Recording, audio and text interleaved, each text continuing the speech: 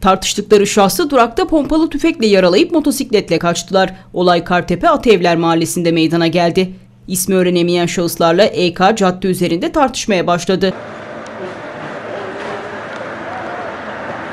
Tartışmadan bir süre sonra şahısların ikisinin olay yerinden ayrıldığı EK'nın ise durakta olduğu öğrenilirken karşı taraftaki iki kişi EK'yı durakta oturduğu sırada pompalı tüfekle vurdu. Duraktaki EK pompalı tüfeğin saçmasıyla yaralanırken ateş eden iki şahıs da motosiklete binip hızla olay yerinden uzaklaştı.